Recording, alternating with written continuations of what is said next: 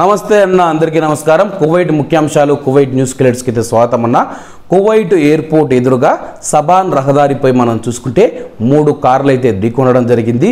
ఈ యొక్క ప్రమాదంలో ఈజిప్ట్ ప్రవాసి మృతి చెందగా కువైట్కి ఒక ఇరాన్ వ్యక్తికి అయితే గాయాలయ్యాయి అని చెప్పి అధికారులు అయితే వెల్లడించడం జరిగింది. సబాహియా ప్రాంతాన్ని పర్యాటకంగా అభివృద్ధి చేస్తామని చెప్పి దీనికి సంబంధించిన ఫైల్ని అయితే కువైట్ మున్సిపాలిటీ అయితే ఆమోదం తెలపడం జరిగింది. కువైట్లో ప్రయాణికుల సామర్థ్యాన్ని పెంచిన తర్వాతే ఇండియా నుంచి విమానాలు వస్తాయి అని చెప్పి director general of civil aviation అధికారులు అయితే ప్రకటించడం జరిగింది. కువైట్కు వచ్చే ప్రయాణికులు ఎవరైతే ఉన్నారో వాళ్ళైతే ఇమ్యూన్ యాప్ను అప్డేట్ చేసుకోవాలని చెప్పి ఆరోగ్య శాఖ అయితే తెలపడం జరిగింది.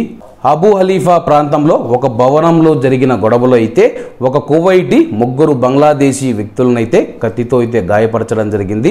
అలాగే బంగ్లాదేశీ వ్యక్తులను హాస్పిటల్కు తరలించగా అలాగే ఇక కువైటీని అరెస్ట్ చేసినట్లయితే కువైట్ పోలీస్ అధికారులు అయితే ప్రకటించడం జరిగింది. కొత్త పర్వానియా హాస్పిటల్ ప్రాజెక్టునైతే కువైట్ ఆరోగ్య శాఖ మంత్రి డాక్టర్ బసిల్ ఆల్ సభా గారైతే పరిశీలించడం జరిగింది. ఒఫ్రాలో రెండు రోజుల గందరగోళం తర్వాత అయితే ఈ రోజు సజావుగా అయితే టీకా ప్రక్రియ కొనసాగుతూ ఉన్నట్లు అధికారులు అయితే వెల్లడించడం జరిగింది. సంగీత వాయిద్యంపై వివాదం కారణంగా సాల్వా ప్రాంతంలో ఒక బేదూన్ వ్యక్తినైతే కాల్చి గాయపరిచిన ఒక వ్యక్తి కోసం అయితే పోలీసులు గాలిస్తూ ఉన్నట్లయితే అధికారులు వెల్లడించడం జరిగింది.